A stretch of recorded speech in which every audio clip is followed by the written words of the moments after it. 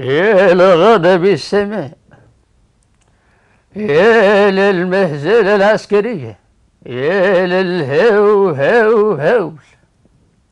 أستاذ كمال الشناوي سيادة اللواء الحرب قامت بقالها تلات أيام وما فيش ولا عسكري من العساكر بتوعك جاهزين يا سيادة القائد كل حاجة تمام والعساكر متدربين على مستوى.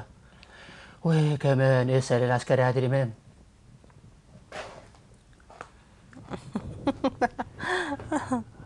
هو كل شوية عادل إمام عادل إمام. فضل اللي خلفوك أنا بقى. ده كلام يا جدعان. أنا بصراحة كده كنت معدي لقيت فرح كبير قلت أشتغل رقاصة يعني. مش كده ولا يا عم يونس؟ الشلبي عاجبك اللي بيحصل ده يا جدع. إيه؟ اي والله العظيم يا جدع حلوة اللي البتاع دي والله.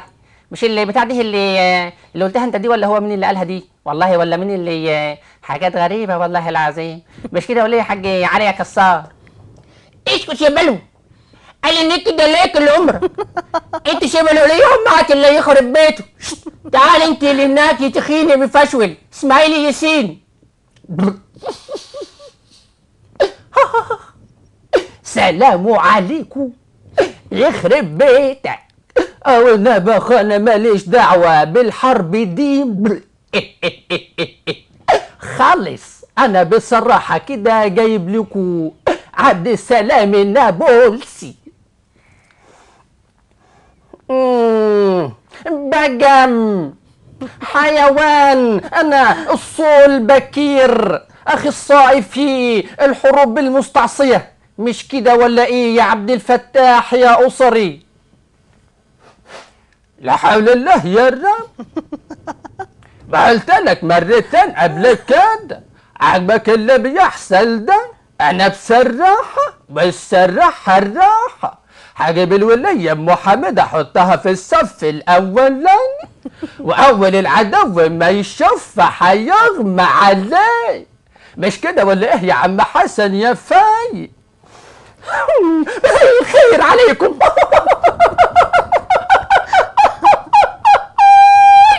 حلوة قوي وأنا كمان هجيب فتافيت السكر. مش كده ولا إيه؟ يا سيد يا زيان. ربنا اللي مع بعض ما أنا فاهم حاجة خالص. كره يا سيدي. ما تيجي أنت لهناك؟ عامل لمبي الله أعوذ بالله. الله بسم الله الرحمن الرحيم. أنا مش كل البني آدم اللي هو كان كان موجود معانا بيتكلم دلوقتي عبيد ده ولا إيه؟ أو كمان جايب لكم القرموطي تعالى يا عم القرموطي حبيب قلبي أهلا وسهلا معلش يابا بيقول لك انور السادات هو اللي حط الخطة بتاعت الحرب. لا يابا أرمط اللي حط الخطة وهو اللي بيعمل الحركات على أرمط. أهلا وسهلا مين معانا؟ الحاجة مريم مهيب اتفضلي معانا. أهلا وسهلا أها ها يا دي النيله حط توبة على توبة.